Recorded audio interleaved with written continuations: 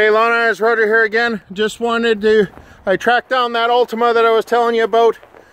So this one's got a 2.5 liter underneath the hood, but the nice thing about this one, uh, this one you got also your power windows, locks, air tilt, cruise.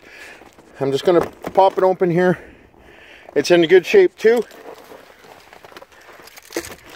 So this one's got a little over about 86,000 K. Uh, so you still have uh, a little bit of uh, comprehensive warranty too.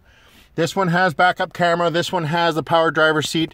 And it also does have uh, the Bluetooth and everything. So this is also another uh, good option for you.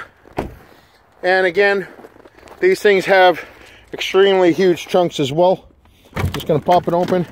As you can see right there, the trunk is absolutely huge, just the same size as the Ford Fusion. There's the backup camera right there. So this one is also a good option for you.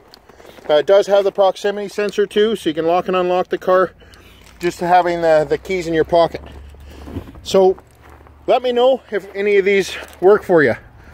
Hope to hear from you soon.